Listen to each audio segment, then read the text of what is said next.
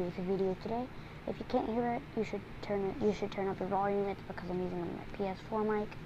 So if you can't hear it, because it's stuck, it's like stuck to my throat, so I kind of can't do anything. It's like on my throat, because that's how it is. That's just how the mic was made. So, I mean, it's not what's on my throat, but all right. So let's get into the point of this video. I'm gonna show you. Well, at the beginning of my intro, it says Legos, Nerf, and much more. Here's where the Nerf proportion comes in. I'm going to show you guys how to make an actual Nerf weapon.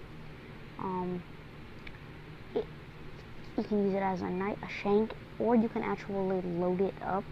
And I just got done throwing it, and it actually throws like like a Nerf because it's heavy on the front, and like when it shoots, it shoots normal.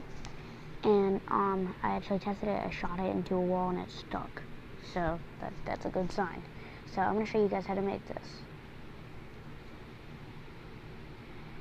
Alright, what you're going to need is Nerf Elite Dart, a pair of scissors, and a tack. So what you're going to want to do is this. You're going to want to take it, to cut it off, so then it looks like this. So you cut that off, so it looks like that. Then, all you're going to have left is this. So then, you want to take your Tic Tac, or your tack, I should say, and just stick it in there. And there you go.